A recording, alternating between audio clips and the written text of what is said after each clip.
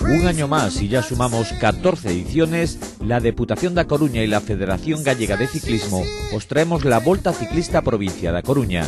A lo largo de tres días, más de un centenar de esforzados ciclistas recorrerán un total de 21 municipios teniendo como sedes los ayuntamientos de Moncero, Mañón y Valdoviño. Para los corredores es una oportunidad para mostrarnos su valía llegar pronto a ser profesionales. Para la Diputación es una ocasión de apoyar el deporte y también de que muchos conozcan las maravillas que contemplarán en los trazados de cada etapa que luego explicaremos. En esta vuelta estarán 16 equipos, de los cuales hay dos de la provincia de A Coruña como son el Padronés y el Cambre. De otras partes de Galicia estarán el Club Ciclista Vigués, el Rías Baixas, el Speed Road y el Spol Concello de Oporriño. Si alguno merece mención especial, es el Supermercados Freud de Pollo en Pontevedra, que ha ganado 8 de las 13 ediciones de la Volta que se han disputado hasta ahora.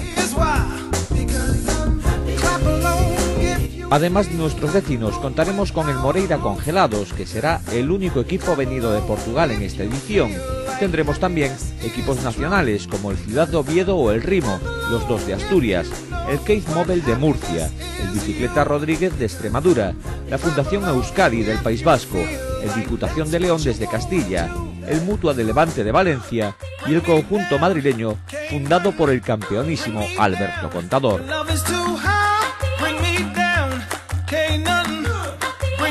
En estos tres días estarán en juego cinco maillots. El blanco distinguirá al ganador entre los corredores menores de 23 años. El azul será para el primer gallego de la clasificación. El maillot rojo lo ganará el corredor más rápido en las metas volantes. Y el maillot verde será para el mejor escalador.